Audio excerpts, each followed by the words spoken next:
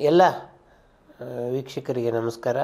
ವಿಜಯ್ ಭಾಸ್ಕರ್ ಅವರ ಜೀವನ ಯಾನವನ್ನು ನಾವು ಕಳೆದ ಕೆಲವು ಸಂಚಿಕೆಯಿಂದ ಮಾಡ್ತಾ ಇದ್ದೀವಿ. ಈ ಸಂಚಿಕೆಯಲ್ಲಿ ಆ ಯಾನವನ್ನು ಮುಂದುವರಿಸ್ತೀನಿ. ಮುಂದುವರಿಸೋದಕ್ಕೆ ಮುಂಚೆ ನಾನು ಕೆಲವು ಸಂಗತಿಗಳನ್ನು ನಿಮ್ಮ ಜೊತೆ ಹಂಚ್ಕೋಬೇಕು. ನಮ್ಮಲ್ಲಿ ಇವತ್ತು ಯೂಟ್ಯೂಬ್ಗಳು ಈ ಕರೋನಾ ನಂತರದ ಪೀರಿಯಡ್ನಲ್ಲಿ ಸಾಕಷ್ಟು ಯೂಟ್ಯೂಬ್ಗಳಾಗ್ಬಿಟ್ಟಿದೆ. ಮತ್ತು ಭಾಳ ಜನ ನಮ್ಮ ವೀಕ್ಷಕರು ಯಾವುದೋ ಯೂಟ್ಯೂಬ್ ನೋಡಿ ಅವ್ರು ಮಾಡ್ತಾರೆ, ನೀವೇ ಯಾಕೆ ಮಾಡೋಕ್ಕಾಗಲ್ಲ? ಅಂತ ಹೇಳ್ತಾರೆ. ಅಥವಾ ನಮ್ಮ ಯೂಟ್ಯೂಬ್ಗಳನ್ನು ನೋಡಿ ಇವ್ರ ಬಗ್ಗೆ ನೀವು ಮಾಡ್ಬೋದಲ್ಲ ಅಂತ ಕೇಳ್ತಾರೆ. ಈ ಥರದ ಸಲಹೆ ಸೂಚನೆಗಳಿಗೆ ನಾವು ಸದಾ ಸ್ವಾಗತವನ್ನು ಕೊಡ್ತೇವೆ. ಕಳೆದ ಕೆಲವು ದಿವಸಗಳ ಹಿಂದೆ ನನ್ನ ಮಿತ್ರರಾದ ಮಂಜುನಾಥ್ ಅವರು ಕೂಡ ಈ ವಿಷಯವನ್ನು ಮಾತಾಡಿದರು. ಅದೇ ವಿಷಯವನ್ನು ನಾನು ಸ್ವಲ್ಪ ಮುಂದುವರಿಸ್ತಾ, ಇವತ್ತು ಬಹಳ ನಾಯಿ ಕೊಡೆ ಥರ ಹಬ್ಬಿಕೊಂಡಿರುವ ಇಷ್ಟು ಯೂಟ್ಯೂಬ್ಗಳ ನಡುವೆ ನಾವು ಮಾಡ್ತಿರೋ ಕೆಲಸ ಹೇಗೆ ಬೇರೆ ಅಂತ ನಾನು ಹೇಳ್ಕೊಳ್ಳೇಬೇಕು. ಯಾಕೆಂದರೆ ನಾವು ಆಡುವ ಮಾತಿನ ಪ್ರತಿಯೊಂದರ ಹಿಂದೆ ಬಹಳ ಅಧ್ಯಯನ ಇರುತ್ತೆ, ಸಂಶೋಧನೆ ಇರುತ್ತೆ. ಮತ್ತು ನೀವು ಗಮನಿಸಿರಬಹುದು, ಯಾವುದೋ ಊಹಾಪೋಹದ ಮಾತುಗಳನ್ನು ನಾವು ಆಡಲ್ಲ. ಅಥವಾ ಒಂದು ಸೆನ್ಸೇಷನ್ ಮಾಡಬೇಕು, ಇನ್ನೊಬ್ಬರ ವ್ಯಕ್ತಿತ್ವ ವಧೆ ಮಾಡಬೇಕು, ಈ ಥರದ ವಿಡಿಯೋಗಳನ್ನು ನಾವು ಯಾವತ್ತೂ ಮಾಡಿಲ್ಲ. ಇಂದಿನವ್ರ ಬಗ್ಗೆ ಒಂದು ಗೌರವ ತಂದುಕೊಡೋ ಕೆಲಸವನ್ನು ನಾವು ಮಾಡ್ತಾಯಿದ್ದೀವಿ ಇದನ್ನು ಮಾಡೋದು ಅಷ್ಟು ಸುಲಭ ಅಲ್ಲ. ಇದು ಒಂದು ರೀತಿಯ ಮಾಹಿತಿಯ ಪ್ರವಾಹದ ಕಾಲ ಇದು. ನೀವು ಇವತ್ತು ನೆಟ್ಟಿಗೆ ಹೋದರೆ ಗೂಗಲಲ್ಲಿ ಸರ್ಚ್ ಮಾಡಿದ್ರೆ ಸಾಕಷ್ಟು ಮಾಹಿತಿಗಳು ಬಂದು ಬೀಳತ್ತೆ. ವಿಕಿಪೀಡಿಯಾದಲ್ಲಂತೂ ಯಾರು ಏನು ಬೇಕಾದರೂ ಸೇರಿಸ್ಬೋದಾದ್ದರಿಂದ ಅದರಲ್ಲಿರುವ ಮಾಹಿತಿಗಳು ಎಷ್ಟು ಸರಿ ಅನ್ನೋದು ನಿಮಗೆ ಗೊತ್ತಿದೆ. ಅದನ್ನೇ ನಾನು ಇನ್ನೊಂದು ಸಲ ಹೇಳೋದಾದರೆ ಇಲ್ಲಿ ಕೂತ್ಕೊಂಡು ನಿಮಗೆ ವಿಡಿಯೋ ಮಾಡಬೇಕಾದ ಅವಶ್ಯಕತೆಯೇ ಇಲ್ಲ. ಯಾಕಂದರೆ ನೀವು ಗೂಗಲೇ ನೋಡ್ಕೊಳ್ಳಿ ಅಂತ ಹೇಳ್ಬೋದು. ಆಮೇಲೆ ಮುಖ್ಯವಾಗಿ ನನ್ನ ಮಟ್ಟಿಗಂತೂ ಹೇಳೋದಾದರೆ ನನಗೆ ಈ ಸಿನಿಮಾ ಸಂಗೀತ, ಸಾಹಿತ್ಯ ಇದೆಲ್ಲ ಕೂಡ ಒಂದು ಪ್ಯಾಷನ್ ಅದು. ಇದು ನನ್ನ ವೃತ್ತಿ, ನಾನು ಪತ್ರಕರ್ತನಾಗಿದ್ದಾಗ ಕೂಡ ಇದು ನನ್ನ ವೃತ್ತಿ ಆಗಿರಲಿಲ್ಲ ಯಾರೋ ಹೇಳಿದ್ರು, ಅಯ್ಯೋ ಸುಮ್ಮನೆ ಏನೋ ಮಾತಾಡುವ ನಮಗೆ ಒಂದು ಆಸಕ್ತಿ, ಅದರ ನಿಮ್ಗೆ ಅದೇ ಉದ್ಯೋಗ ಅಂತೇಳಿ. ಖಂಡಿತ ನಾನು ಸಿನಿಮಾ ಬಗ್ಗೆ ಮಾತಾಡೇ ಆಗಲಿ, ಬರೋದಾಗಲಿ ಯಾವ ಹಣವನ್ನು ಸಂಪಾದನೆ ಮಾಡಿಲ್ಲ ನಾನು ಭಾಳ ಪ್ರಖ್ಯಾತ ಒಂದು ಉದಾಹರಣೆಯನ್ನು ಯಾವಾಗಲೂ ಕೊಡ್ತೀನಿ. ಹೊನ್ನಪ್ಪ ಭಾಗವತರ ಬಗ್ಗೆ ನಾನೊಂದು ಪುಸ್ತಕವನ್ನು ಬರೆದೆ. ಅವರ ಜನ್ಮ ಶತಮಾನೋತ್ಸವ ಸಂದರ್ಭದಲ್ಲಿ ನಾನೊಂದು ಉಪನ್ಯಾಸ ಮಾಡಿದ್ದೆ. ಯಾರೊಬ್ಬ ಪ್ರಕಾಶಕರು ಇಷ್ಟಪಟ್ಟು ಬರೀರಿ ಅಂತಂದರು, ಆ ಪುಸ್ತಕಕ್ಕೆ ನನಗೆ ಒಟ್ಟು ಸಿಕ್ಕ ಗೌರವಧನ ಹನ್ನೆರಡು ಸಾವಿರ ರೂಪಾಯಿ. ಯಾವ ಪ್ರಕಾಶಕರಿಗೆ ಕೊಟ್ಟರು ಅದಕ್ಕಷ್ಟೇ ಗೌರವಧನ ಕೊಡ್ತಾ ಇದ್ದಿದ್ದು. ಆದರೆ ಈ ಪುಸ್ತಕವನ್ನು ಬರೀಬೇಕಾದ್ರೆ ನಾನು ನಾಲ್ಕು ಸಲ ಮದ್ರಾಸ್ಗೆ ಹೋಗಿ ಬರಬೇಕಾಯ್ತು. ಹೊನ್ನಪ್ಪ ಭಾಗವತ್ ಅವರ ಅನೇಕ ಹಳೆಯ ತಮಿಳು ಸಿನಿಮಾಗಳನ್ನು ತೆಗೆಸ್ಬೇಕಾಯಿತು. ಅದರ ದಾಖಲೆಗಳನ್ನು ತೆಗೆಸ್ಬೇಕಾಯಿತು. ಒಟ್ಟು ಎಲ್ಲ ಸರಿಸುಮಾರು ಸೇರಿ ನನಗೆ ಆ, ಪುಸ್ತಕಕ್ಕೆ ಮಾಡಿದ ಸಂಶೋಧನೆ ಖರ್ಚಾಗಿದ್ದು ಏನಿಲ್ಲ ಆದರೂ ಎಂಬತ್ತು ಸಾವಿರ ರೂಪಾಯಿ. ನಾನು ಆ ಪುಸ್ತಕವನ್ನು ಬರೀದಿದ್ರೆ ಅರವತ್ತೆಂಟು ಸಾವಿರ ರೂಪಾಯಿ ಉಳಿತಿತ್ತು ನನಗೆ ಆ್ಯಕ್ಚುಲಿ ಮತ್ತು ಈ ಅನೇಕ ಸಂಶೋಧನೆಗಳ ವಿಷಯದಲ್ಲಿ ಇದು ನಿಜ ಕೂಡ. ನಾವು ಏನೋ ಉದ್ಯೋಗವನ್ನು ಮಾಡಿ ಏನೋ ಸಂಪಾದನೆ ಮಾಡಿದ ಹಣವನ್ನು ಸಂಶೋಧನೆಗೆ ಖರ್ಚು ಮಾಡಿ ಮಾಹಿತಿಯನ್ನು ಸಂಗ್ರಹಣೆ ಮಾಡ್ತಾ ಇರ್ತೀವಿ. ಆದುದರಿಂದ ಬಹಳ ಜನ ಗಮನಿಸಬೇಕಾದ ಸಂಗತಿ ಏನು ಅಂತಂದರೆ ನಮ್ಮ ಬದ್ಧತೆಯನ್ನು ನೀವು ದಯಮಾಡಿ ಗೌರವಿಸಬೇಕು. ನಾವು ಯಾವುದೇ ರೀತಿಯಲ್ಲಿ ಹಣ ಮಾಡ್ಕೊಳ್ಳೋದಕ್ಕೆ ಈ ಚಾನಲನ್ನು ಮಾಡ್ತಾ ಇಲ್ಲ, ಈ ಥರದ ಸಂಶೋಧನೆಗಳನ್ನು ಮಾಡ್ತಾ ಇಲ್ಲ. ಆದರೆ ನಂಗೆ ನಿಜವಾಗಿರೋ ಆತಂಕ ಅಂತಂದರೆ ವಿಜಯ್ ಭಾಸ್ಕರನ್ನ ನಾನು ನೋಡಿದ್ದೀನಿ. ಅವ್ರ ಜೊತೆಗೆ ಬಹಳ ನಿಕಟವಾಗಿ ಒಡನಾಡಿದ್ದೀನಿ ಅಥವಾ ಜಿ ಕೆ ವೆಂಕಟೇಶ್ ಜೊತೆಗೆ ಒಡನಾಡಿದ್ದೀನಿ ಉಪೇಂದ್ರ ಕುಮಾರ್ ಅವ್ರ ಜೊತೆಗೆ ಒಡನಾಡಿದ್ದೀನಿ ಟಿ ಜಿ ಲಿಂಗಪ್ಪನವ್ರ ಜೊತೆಗೆ ಒಡನಾಡಿದ್ದೀನಿ ನಮ್ಮ ಮುಂದಿನ ಪೀಳಿಗೆ ಅವ್ರು ನೋಡದೆ ಒಡನಾಡದೆ ಇರುವವರು, ಇವತ್ತು ಹೇಗಾಗಿದೆ ಅಂದರೆ ನಾನು ಆಕಾಶವಾಣಿಯಲ್ಲಿ ಹದಿನೇಳು ವರ್ಷ ಆರ್ಜಿ ಆಗಿದ್ದರಿಂದ ನಾವು ಪ್ರತಿ ಹಾಡಿನ ಜೊತೆಗೆ ಅದರ ಸಂಗೀತ ನಿರ್ದೇಶಕರು ಯಾರು, ಗೀತ ರಚನೆಕಾರರು ಅಂತ ಹೇಳ್ತಾ ಇದ್ವಿ. R N G Gopala, Udayashankar Rao, Vijaya ನರಸಿಂಹನ ಹೆಸರು ಕೇಳಿ ಕೇಳಿ ಕೇಳಿ ಕೇಳಿ ನಿಮ್ಮ ಮನಸ್ಸಲ್ಲಿ ಉಳ್ಕೊಂಡಿರುತ್ತೆ. ಇವತ್ತು ಇಷ್ಟೊಂದು ಎಫ್ ಎಮ್ಗಳಿದೆ ಯಾರೂ ಗೀತ ರಚನೆಕಾರರ ಹೆಸರು ಹೇಳ್ತಾ ಇಲ್ಲ. ಯಾರೂ ಸಂಗೀತ ನಿರ್ದೇಶಕರ ಹೆಸರು ಹೇಳ್ತಾ ಇಲ್ಲ. ನೀವು ಇಂಟರ್ನೆಟ್ಟಲ್ಲಿ ಒಂದು ಹಾಡನ್ನು ಡೌನ್ಲೋಡ್ ಮಾಡ್ಕೊಳ್ತೀರಿ. ಇವತ್ತು ಸಿ ಡಿಗಳಿಲ್ಲ ಗ್ರಾಮಫೋನ್ ಪ್ಲೇಟ್ಗಳಿಲ್ಲ ಕ್ಯಾಸೆಟ್ಗಳಿಲ್ಲ ಎಲ್ಲ ಯುಗ ಮುರಿದೋಗಿದೆ. ನೆಟ್ಟಲ್ಲಿ ಒಂದು ಹಾಡನ್ನು ನೀವು ಡೌನ್ಲೋಡ್ ಮಾಡ್ಕೊಳ್ತೀರಿ. ಹಾಡು ಬರುತ್ತೆ. ಅದಕ್ಕೆ ಅಪ್ಪ ಯಾರು ಅಂತ ಗೊತ್ತಿಲ್ಲ, ಅಮ್ಮ ಯಾರು ಅಂತ ಗೊತ್ತಿಲ್ಲ, ಹಾಡ್ದವ್ರು ಯಾರು ಅಂತ ಗೊತ್ತಿಲ್ಲ. ಇದು ನಾಳೆ ಯಾವ ಥರದ ಇತಿಹಾಸವನ್ನು ಸೃಷ್ಟಿ ಮಾಡುತ್ತೆ? ನಮಗಿರುವ ನಿಜವಾದ ಆತಂಕ ಇದು. ನಾಳೆ ವಿಜಯ್ ಭಾಸ್ಕರ್ ಬಗ್ಗೆ ಯಾರಾದರೂ ಮಾತಾಡಿದ್ರೆ ಏನು ಮಾತಾಡ್ತಾರೆ? ನಾನೇ ತುಂಬ ಸಲ ಇಂಟರ್ನೆಟನ್ನು ಹುಡುಕಿ ಏನು ವಿಜಯ್ ಭಾಸ್ಕರ್ ಅಂತಹ ಶ್ರೇಷ್ಠ ಸಂಗೀತ ನಿರ್ದೇಶಕ ಆರುನೂರ ಇಪ್ಪತ್ತ್ಮೂರು ಸಿನಿಮಾಗಳಿಗೆ ಸಂಗೀತ ಕೊಟ್ಟ ಒಬ್ಬ ಮೇರು ನಿರ್ದೇಶಕ. ನಾವು ಇಳೆಯರಾಜನ ಬಗ್ಗೆ ಇಷ್ಟೆಲ್ಲ ಮಾತಾಡ್ತೀವಿ. ನೀವು ನೆಟ್ಟಲ್ಲಿ ಇಳೆಯರಾಜನ ಬಗ್ಗೆ ಸಾವಿರ ಸಿನಿಮಾ, ಇವ್ರಿಗಿಂತ ಒಂದು ಸ್ವಲ್ಪ ಜಾಸ್ತಿ, ಒಂದು ಸಾವಿರ ಸಿನಿಮಾ ಮಾಡಿದ್ದಾರೆ ಇಳಿಯರಾಜ ಅದು ಎಷ್ಟು ಮಾಹಿತಿ ಇಳಿಯರಾಜನ ಬಗ್ಗೆ ಸಿಗುತ್ತೆ? ವಿಜಯ ಭಾಸ್ಕರ್ ಬಗ್ಗೆ ಯಾಕೆ ಸಿಗ್ತಾ ಇಲ್ಲ? ನಮಗೆ ಯಾಕೆ ಹೆಮ್ಮೆ ಇಲ್ಲ? ಇದು ನೀವು ಎಲ್ಲರೂ ನಮ್ಮನ್ನು ಬೆನ್ನು ತಟ್ಟಿದ್ರೆ, ನಮ್ಮ ಸಹಾಯಕ್ಕೆ ಬಂದರೆ, ನಾವು ಈ ಥರದ ಸಂಚಿಕೆಗಳನ್ನು ಇನ್ನಷ್ಟು ಮಾಡ್ಕೊಂಡು ಹೋಗ್ಬೋದು. ಆಮೇಲೆ ಇನ್ನೊಂದು ನಾನು ಎಲ್ಲರ ಗಮನಕ್ಕೆ ತರಬೇಕು. ನಾನು ನಾನು ಮಾಡುವ ಪ್ರತಿ ಸಂಚಿಕೆ, ನನಗೆ ಯಾರ ಜೊತೆ ಒಡನಾಟ ಇದೆಯೋ ಯಾರ ಜೊತೆಗೆ ನಾನು ನೇರವಾಗಿ ಮಾಹಿತಿ ಸಂಗ್ರಹಣೆ ಮಾಡಿದ್ದೀನೋ ಅದನ್ನು ಮಾತ್ರ ಮಾಡ್ತಾಯಿದ್ದೀನಿ ಆದುದರಿಂದ ನೀವು ಕಾಮೆಂಟ್ ಮಾಡುವಾಗ ನನಗೆ ಇಂಥವರು ಸಂಗೀತ ನಿರ್ದೇಶನ ಕೊಟ್ಟಿದ್ದು ಅನ್ನೋದನ್ನು ನಾನು ನೇರವಾಗಿ ಅವರಿಂದಲೇ ಮಾಹಿತಿ ತೊಗೊಂಡಿದ್ದೀನಿ.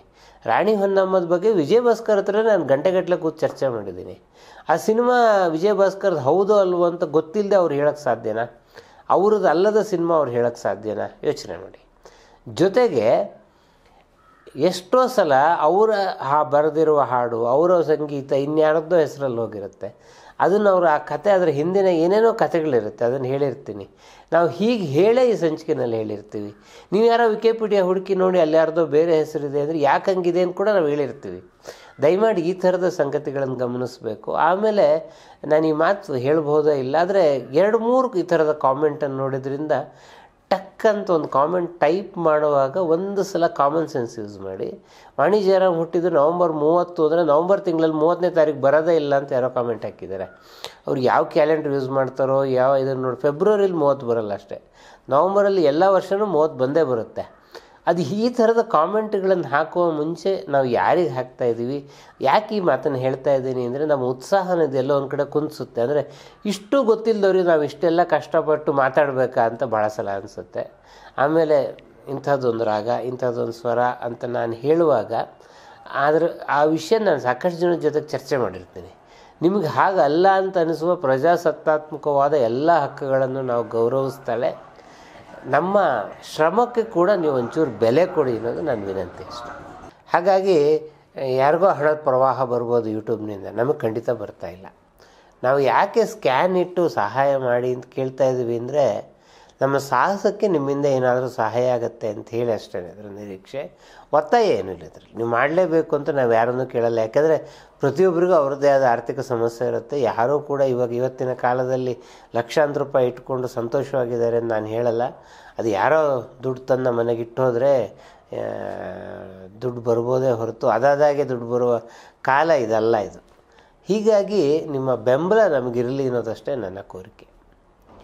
ಎರಡನೇ ಸಂಗತಿ ನಾನು ಹೇಳಬೇಕಾಗಿದ್ದೇನು ಅಂದರೆ ನಮ್ಮ ಹಿರಿಯ ಸ್ನೇಹಿತರು ಮತ್ತು ಚಿತ್ರರಂಗದ ಅಪಾರ ಅಭಿ, ದೊಡ್ಡ ಅಭಿಮಾನಿಗಳಾದ ಪ್ರೊಫೆಸರ್ ಕೃಷ್ಣೇಗೌಡರು ಒಂದು ಮಾತನ್ನು ಹಾಡಬೇಕು ಅಂತ ನನಗೆ ಕೇಳಿಕೊಂಡ್ರು.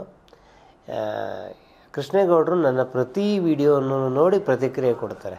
ಪ್ರತಿಕ್ರಿಯೆ ನನ್ನ ವಿಡಿಯೋ ಕಾಲು ಗಂಟೆ ಇದ್ದರೆ ಅವ್ರ ಮಾತು ಅರ್ಧ ಗಂಟೆ ಇರುತ್ತೆ, ಅದಷ್ಟು ಸುದೀರ್ಘವಾಗಿ ಅವ್ರು ಮಾತಾಡ್ತಾರೆ. ಒಂದು ಅಂಶವನ್ನು ನೀವು ಹೇಳಬೇಕು, ಬಹಳ ಜನಕ್ಕೆ ಇವತ್ತಿನವ್ರಿಗೆ ಗೊತ್ತಿಲ್ಲ ಅದು ಅಂತಂದರು. ಏನು ಅಂತಂದರೆ ಸಂಗೀತ ನಿರ್ದೇಶನ, ಸಂಗೀತ ಸಂಯೋಜನೆ, ಸಂಗೀತ ನಿರ್ವಹಣೆ. ಈ ಮೂರು ಬೇರೆ ಬೇರೆ ಸಂಗತಿಗಳು. ಬಹಳ ಜನ ಈ ವಿಷಯದಲ್ಲಿ ಗೊಂದಲ ಮಾಡ್ಕೊಂಡಿರೋದು ನಿಜ. ಅದು ನನಗೆ ಅಲ್ಲಿಯ ಕಾಮೆಂಟ್ಗಳಲ್ಲಿ ಅದು ಬಹಳ ಸಲ ಕಾಣಿಸಿದೆ ಅದು. ಒಂದು ಹಾಡನ್ನು ನಾವು ಕಂಪೋಸ್ ಮಾಡಿಬಿಡ್ತೀವಿ. ಕಂಪೋಸ್ ಮಾಡಿದ ಮೇಲೆ ಅದು ಆರ್ಕೆಸ್ಟ್ರಾ ಮೂಲಕ ಬರಬೇಕು, ಸಿಂಗರ್ಗಳ ಮೂಲಕ ಬರಬೇಕು. ಇದು ನಿಮಗೆ ಮ್ಯೂಸಿಕ್ ಕಂಡಕ್ಟಿಂಗ್ ಅಂತ ಹೇಳಿ ಇದು ಪರ್ಫಾರ್ಮ್ ಮಾಡೋದು. ಈ ಸಂಗೀತವನ್ನು ಆರ್ಕೆಸ್ಟ್ರೈಸೇಷನ್ ಅಂತ ಕರೀತಾರೆ. ಇದನ್ನು ವಾದ್ಯಗೋಷ್ಠಿಗೆ ತಾವು ಕಂಪೋಸ್ ಮಾಡಿರುವ ಟ್ಯೂನನ್ನು ಹೇಗೆ ಜೋಡಿಸ್ಬೇಕು ಅಂತ ಹೇಳೋದು. ಹೀಗೆ ಜೋಡಿಸಿದ ಮೇಲೆ ಅದು ರೀ ರೆಕಾರ್ಡಿಂಗ್ ಆಗಿ ನೀವು ಕೇಳಬಲ್ಲ ಸ್ಥಿತಿಗೆ ಬರುತ್ತೆ. ಮೂರು ಹಂತಗಳಲ್ಲಿ ಈ ಥರದ ಸಂಗೀತ ನಡೀತಾ ಇರುತ್ತೆ. ನಮ್ಮ ಹಳೆಯ ಸಂಗೀತ ನಿರ್ದೇಶಕರಲ್ಲಿ ಬಹುತೇಕರು ಮೂರನ್ನು ಕೂಡ ಮಾಡಬಲ್ಲವರಾಗಿದ್ದರು ಸತ್ಯ ಏನು ಅಂದರೆ ಇವತ್ತಿನ ಬಹುತೇಕ ಸಂಗೀತ ನಿರ್ದೇಶಕರು ಒಂದು ಆರ್ಕೆಸ್ಟ್ರೈಸೇಷನ್ ಮಾಡ್ತಾರೆ, ಇಲ್ಲ ಕಂಪೋಸಿಂಗ್ ಮಾಡ್ತಾರೆ. ಎರಡನ್ನು ಕೂಡ ಮಾಡೋಕ್ಕೆ ಗೊತ್ತಿಲ್ಲ ಭಾಳ ಜನಕ್ಕೆ. ಮತ್ತು ಯಾವ ವಾದ್ಯದ ಮೂಲಕ ಯಾವುದು ಬರುತ್ತೆ, ಯಾಕೆ ಅಂತಂದರೆ ಇವತ್ತು ನೈಜ ವಾದ್ಯಗಳೆಲ್ಲ ಮರೆಯಾಗಿದೆ ನೀವು ಒಂದು ಕೀಬೋರ್ಡನ್ನು ಇಟ್ಕೊಂಡ್ರೆ ನೋಡ್ಬೋದು ಕೀಬೋರ್ಡ್ನಲ್ಲಿ ತಂಬೂರಿನೂ ನುಡಿಸ್ಬೋದು, ವೀಣೆನೂ ನುಡಿಸ್ಬೋದು, ತಬಲ ಕೂಡ ಕೀಬೋರ್ಡಲ್ಲಿ ನುಡಿಸ್ಬೋದು. ಅಂದರೆ ಕೀಬೋರ್ಡು ಇವತ್ತು ಎಲ್ಲವನ್ನು ತಂದು ಹಾಕಿದೆ. ನೀವು ಕೀಬೋರ್ಡಲ್ಲಿ ನುಡಿಸುವ ತಬಲ ಎಷ್ಟು ನೈಜವಾಗಿರೋಕ್ಕೆ ಸಾಧ್ಯ? ಅಥವಾ ವೀಣೆ ಎಷ್ಟು ನೈಜವಾಗಿರೋಕ್ಕೆ ಸಾಧ್ಯ? ಕೀಬೋರ್ಡೇ ಸರ್ವಸ್ವ ಆಗ್ತಿರುವ ಕಾಲದಲ್ಲಿ ಒಂದು ಕೀಬೋರ್ಡ್ ಕೂಡ ಇಲ್ಲ. ನೀವು ಎಲ್ಲೆಲ್ಲಿಂದಲೋ ಕಾಪಿ ಪೇಸ್ಟನ್ನು ಮಾಡ್ತಾರೆ. ಟ್ಯೂನ್ಗಳನ್ನು ಎಲ್ಲೆಲ್ಲಿಂದಲೋ ತಂದು ಕಾಪಿ ಪೇಸ್ಟನ್ನು ಮಾಡ್ತಾರೆ. ನಾನು ಸೆನ್ಸಾರ್ ಮಂಡಳಿ ಸದಸ್ಯನಾದಾಗ ತುಂಬ ಜನ ನಿರ್ದೇಶಕರಿಗೆ ಈ ಮಾತನ್ನು ಹೇಳಿದ್ದೀನಿ. ನೀವು ಎಲ್ಲೋ ಕದ್ದು ಅಂದ ಹಾಕಿರೋ ಟ್ಯೂನ್ ಇದೆಯಲ್ಲ, ಇದು ಇಂಥ ಕಡೆದಿದು ನಾಳೆ ನೀವು ಸಿನಿಮಾದಾಗ ಕಷ್ಟಕ್ಕೆ ಸಿಗಾಕೊಳ್ತೀರಿ. ಇದು ಸೆನ್ಸಾರ್ ಮಂಡಳಿ ವ್ಯಾಪ್ತಿಗೆ ಬರಲ್ಲ. ಭಾರತದಲ್ಲಿ ಭಾಳ ದೊಡ್ಡ ದುರದೃಷ್ಟ. ಇದೆ ಸೆನ್ಸಾರ್ ಮಂಡಳಿಗೆ ಈ ಪವರ್ ಕೊಟ್ಟಿಲ್ಲ. ಬೇರೆ ಏನೇನೋ ಕಟ್ ಮಾಡೋಕ್ಕೆ ಪವರ್ ಕೊಟ್ಟಿದ್ದಾರೆ. ಸಂಗೀತ ಕದ್ದಿದ್ದೀರಿ ಆದರೆ ಹೇಳೋ ಪವರ್ ಕೊಟ್ಟಿಲ್ಲ. ಈ ಸಂಗೀತವನ್ನು ಕದಿಯುವ ಪ್ರವೃತ್ತಿ ಇವತ್ತು ಅಧಿಕೃತ ಆಗ್ತಾ ಇದೆ. ನಿಮಗೆ ಗೊತ್ತಿರಬೇಕು ಇತ್ತೀಚೆಗೆ ಅದು ವಿವಾದಗಳು. ಹಾಡಿನ ಹಾಡಿನ ಸಮೇತನೇ ಎತ್ಕೊಂಡ್ಬರ್ತಾರೆ ಇವತ್ತು. ಅಥವಾ ಆಫ್ರಿಕನ್ದು ಯಾವುದೋ ಒಂದು ಹಾಡು ಎತ್ಕೊಂಡ್ಬಂದಿರ್ತಾರೆ, ಅಥವಾ ಹಾಲಿವುಡ್ದು ಯಾವುದೋ ಒಂದು ಟ್ಯೂನ್ ಎತ್ಕೊಂಡ್ಬಂದಿರ್ತಾರೆ, ಜರ್ಮನಿದು ಒಂದು ಟ್ಯೂನ್ ಎತ್ಕೊಂಡ್ಬಂದಿರ್ತಾರೆ. ಇವತ್ತು ನಿಮಗೆ ನೆಟ್ ಇಷ್ಟು ವಿಶ್ವವ್ಯಾಪಿ ಆಗಿರುವಾಗ ಕದಿಯುವುದು ಸುಲಭ ಆಗಿದೆ ಕದಿಯುವುದು ಸುಲಭ ಆಗಿದೆ ಕದ್ದಿದ್ದನ್ನು ಅರಗಿಸ್ಕೊಳ್ಳೋದು ಸುಲಭ ಆಗಿದೆ ಯಾಕೆಂದರೆ ನಾನು ವಿಜಯ ಭಾಸ್ಕರ್ ಬಗ್ಗೆ ಮಾತಾಡ್ತಾ ಇರೋದ್ರಿಂದ ಹೇಳ್ತೀನಿ. ಯಾರೋ ಹೇಳಿದ್ರು, ಇಲ್ಲ ನಿಮ್ಮ ಟ್ಯೂನ್ ಅದೆಲ್ಲೋ ಕೇಳ್ದಂಗೆ ಇದೆಯಲ್ಲ ಅಂತ. ಹೌದಾ? ಕೇಳ್ದಂಗಿದೆಯಾ? ಯಾಕೆ ಎಲ್ಲಿಂದ ಕೂಡ ಅವ್ರು ಕೇಳಲಿಲ್ಲ. ಟ್ಯೂನ್ ಚೇಂಜ್ ಮಾಡ್ತೀನಿ ನಾನು. ನಾನು ಕೊಡುವ ಪ್ರತಿ ಟ್ಯೂನ್ ಕೂಡ ಹೊಸದಾಗಿರ್ಬೇಕು. ಅದು ಎಲ್ಲೋ ಹಿಂದಿನ ಟ್ಯೂನ್ ನಿಮಗೆ ನೆನಪು ಮಾಡಬಾರ್ದು. ಇದು ವಿಜಯ ಭಾಸ್ಕರ್ ಅಂಥವರಿಗೆ ಇದ್ದ ಬದ್ಧತೆ ಇದು ಯಾಕೆಂದರೆ ಅವರಿಗೆ ಹೊಸ ಟ್ಯೂನ್ಗಳನ್ನು ಸೃಷ್ಟಿ ಮಾಡೋಕ್ಕೆ ಶಕ್ತಿ ಇತ್ತು. ಈಗಿನ ಬಹುತೇಕ ಸಂಗೀತ ನಿರ್ದೇಶಕರಿಗೆ ಟ್ಯೂನ್ಗಳನ್ನು ಸೃಷ್ಟಿ ಮಾಡೋ ಶಕ್ತಿ ಇಲ್ಲ. ಅದರಿಂದ ಅವ್ರು ಕದಿಯೋದು ಬಿಟ್ಟು ಬೇರೆ ಏನೂ ಮಾಡೋಕ್ಕಾಗಲ್ಲ. ಆಮೇಲೆ ಒಂದು ಟ್ಯೂನನ್ನು ಸೃಷ್ಟಿ ಮಾಡಾದ್ಮೇಲೆ ಹೇಗೆ ಆರ್ಕೆಸ್ಟ್ರೈಸೇಷನ್ ಮಾಡಬೇಕು? ಜಿ ಕೆ ವೆಂಕಟೇಶ್ ಅಂತವ್ರಿಗೆ ಹದಿನೆಂಟು ವಾದ್ಯಗಳನ್ನು ಅವರೇ ನುಡಿಸಬಲ್ಲವರಾದ್ದರಿಂದ ಯಾವ ವಾದ್ಯದಿಂದ ಏನನ್ನು ಮಾಡಬಹುದು ಅನ್ನೋದು ಭಾಳ ಖಚಿತವಾಗಿ ಗೊತ್ತಿತ್ತು ಅವರಿಗೆ. ವಿಜಯ್ ಭಾಸ್ಕರ್ ಕೂಡ ಹಾಗೆ. ಸ್ವತಃ ಅವರೇ ಆರ್ಕೆಸ್ಟ್ರೈಸೇಷನ್ ಮಾಡೋರು.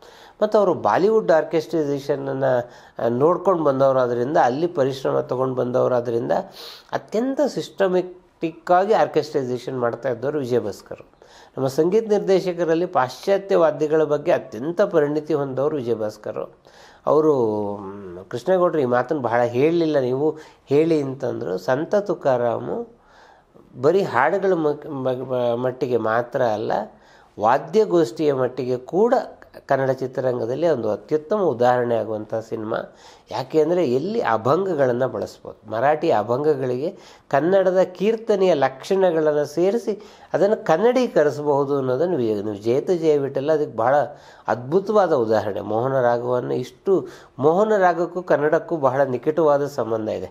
ಅದನ್ನು ಕನ್ನಡದ ಗಾಯತ್ರಿ ಅಂತ ಕರೀತಾರೆ. ಯಾಕಂದರೆ ಕನ್ನಡದ ಬಹುತೇಕ ಭಾವಗೀತೆಗಳು ಯಾವ ಜನ್ಮದ ಮೈತ್ರಿಯಿಂದ ಶುರುವಾಗಿ ಸೃಷ್ಟಿಯಾಗಿರೋದು ಮೋಹನ್ ರಾಗದಲ್ಲಿ.